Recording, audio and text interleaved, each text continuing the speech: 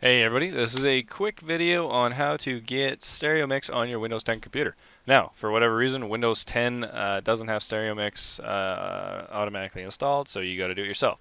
How to check that? Uh, keep in mind, I will have Stereo Mix on my computer because I have it installed. Anyway, you're going to right click down here, you can hit Recording Devices.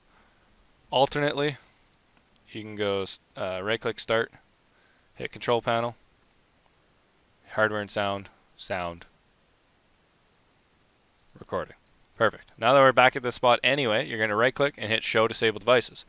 If you have this, cool. You have stereo mix, don't need to follow along with the rest of the video. If you don't, or excuse me, if you don't, or it is it's there but it's gray and you can't click it for whatever reason, or you can't enable it, uh, it's not installed. Now, how do you install that? You're going to go onto your internet, wait for it to open. Oh my goodness. There we go. I'm going to go to realtek.com. Look at that. I already have it there. You're going to hit this button right here. Downloads. Downloads is open. You're going to hit the middle one. High definition audio codecs. You're going to hit that one. Now you're going to hit I accept. You're going to hit next.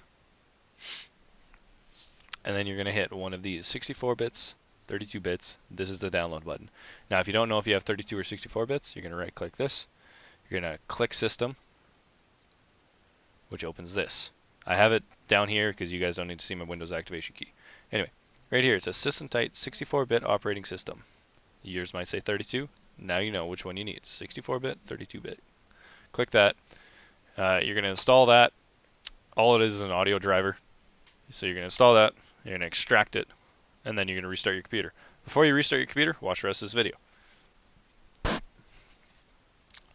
So now that you've installed that, you're to go back to this, right click, recording devices, and you've restarted your computer.